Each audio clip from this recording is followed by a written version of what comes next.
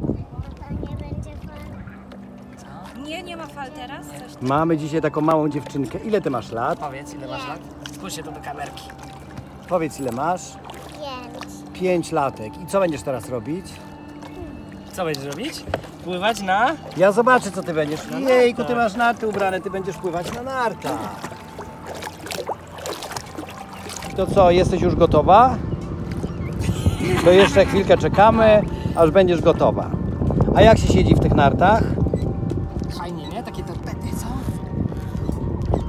Spadają nóżki czy nie? Super. I gdzie będziesz płynąć tam do przodu? Pokaż, gdzie będziesz płynąć tam? Tak, tam do przodu. O, o właśnie, tak. Czasem tak też uczymy. Jest potrzebna asykuracja, która jest w wodzie i obok tutaj wspieramy dzieci. Trzymaj, trzymaj, trzymaj. Brawo!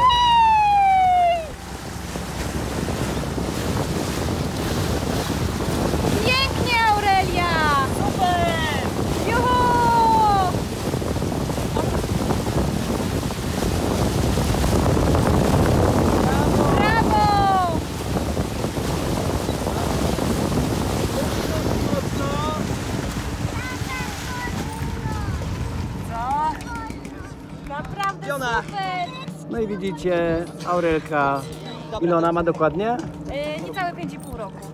No, niecałe 5,5 roku z tatą popłynęła, tata na brzuchu, córa na nartach i wszyscy zadowoleni.